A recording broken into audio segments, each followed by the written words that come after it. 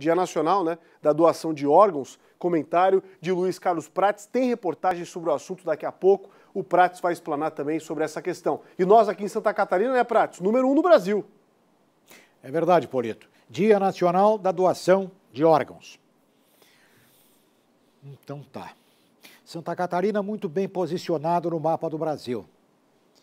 Uma pessoa que em vida pensa, se dispõe a doar depois da morte, é uma pessoa de sensibilidade, uma pessoa de inteligência.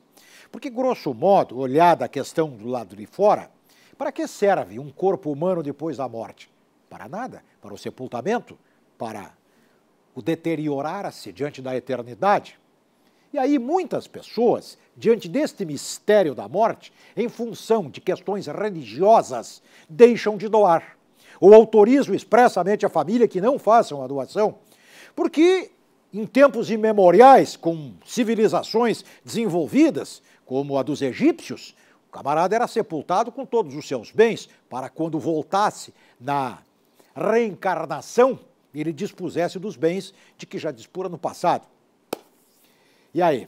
Esta crença religiosa atrasa muitas vezes esta questão que envolve doadores e doações. As pessoas, por um medo subconsciente, não, não se dispõem à doação. Mas a doação é a sobrevida e é a vida de pessoas que precisam dessa doação.